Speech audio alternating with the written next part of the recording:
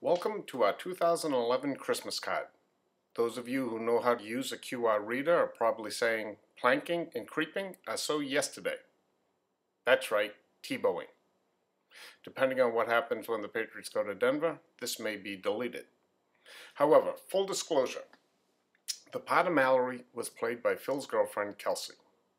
You didn't think Mallory would come all the way up here from North Carolina to plank on some fart-filled mall cushions, do you? Like last year's card from the Gulf. That was Hummerock. And it wasn't oil, chocolate syrup. We're not stupid. Well, it wasn't oil. And besides, Kelsey is practically family since her entire family and grandparents were here for Thanksgiving, if you know what I mean.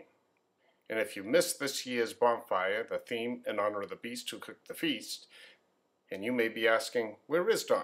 How do you keep her off camera? Okay, here. Just say something in your sick voice.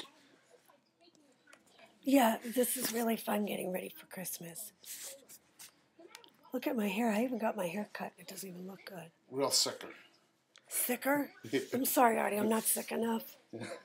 There you go. That's good. That's good. you? You're not posting this. No, no, no, that won't be on the card. Still look pretty good though, considering I'm sick.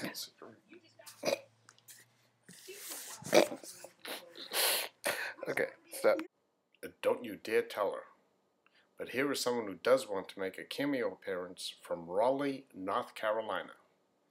Happy holidays from Raleigh, North Carolina. I, uh, shut up. Happy holidays from Raleigh, North Carolina. I wasn't able to make it up for the card this but I'm glad that Kelsey was able to step in for me. I will be home this year for Christmas Eve, so I look forward to seeing everyone.